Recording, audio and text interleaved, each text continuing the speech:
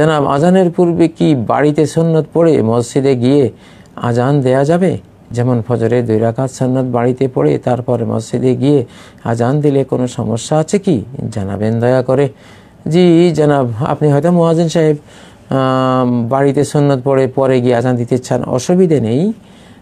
না, সালাতের ওক্ত হয়ে গেলে যে কোনো সালাতে পড়া যাবে, সেটা আজান হোক বা না হোক।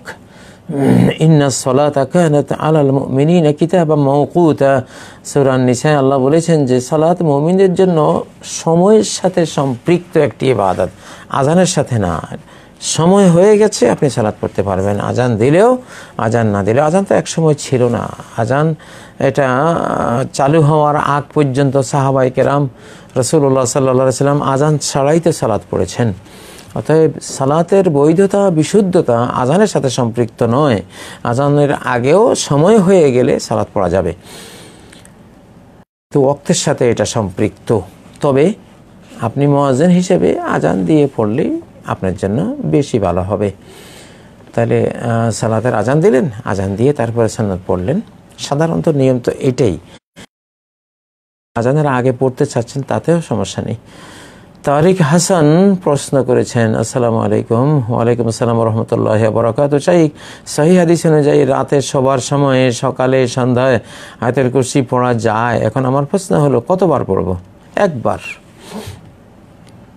হাদিসগুলিতে একবারে কথা এসছে। যে আওয়াই তাইলা ফেরা শিখ ফক্র আয়াতাল কুরসি। যখন তুমি বিছানায় যাবে, আয়াতাল কুরসি তুমি পড়ো। এখানে একবার পড়লে হবে। একাধিকবার পড়ার এখানে রেওয়ায়ত নেই। একাধিক পড়ার বর্ণনা রয়েছে তিন কুলের ক্ষেত্রে সোরায় এখলাস সোরায় ফালাক সোরায় নাস। ঘুমোবার আগে এবং ফজরের পরে, মাগরিবের পরে এগুলো তিন, তিনবার করে পড়ার স্পষ্ট হাদিস রয়েছে। সেগুলো সহি বুখারিতে রয়েছে। তো সেই হাদিস সেই ক্ষেত্রে প্রযোজ্য কিন্তু আয়তল কুরসির ক্ষেত্রে একবার। কিছু দোয়া, সকালে এবং সন্ধ্যায় পড়ার নিয়ম রয়েছে। সন্ধ্যায় বলতে আসরের বক্তে নাকি মাগরীবের বক্তে আসরের পরে, আসর টু মাগরীব, এই টাইমের ভেতরে। মাগরীবের আগে আসরের পরে এই সময়ে পড়ে ফেলেন। আর মাগরীবের পরে তো, এবং ফজরের পরে তো নির্দিষ্ট দোয়া আছেই, সেগুলো সেখানে পড়বেন।